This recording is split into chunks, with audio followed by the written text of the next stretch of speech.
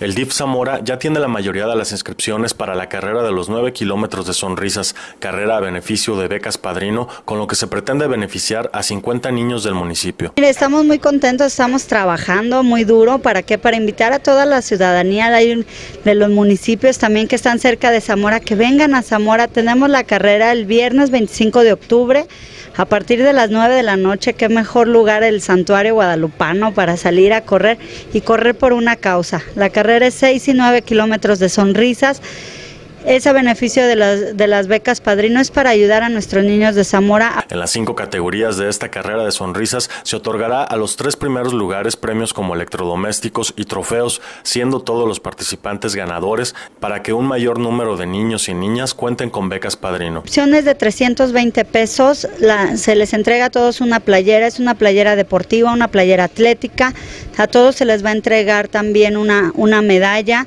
un kit de hidratación. También se contará con apoyo de seguridad pública y protección civil, así como también habrá puntos de hidratación, baños, vestidores y todo lo necesario para que los participantes disfruten de esta carrera con causa. Alrededor de unas 600, 700 personas ya inscritas. La verdad es que ya hay muy pocos boletos, se va a cerrar en 800. Entonces, invitar a la gente a que no se quede fuera porque es algo, la verdad, que muy bonito y vale la pena disfrutarlo. Desde Zamora para SM Noticias reportó Pablo Torres.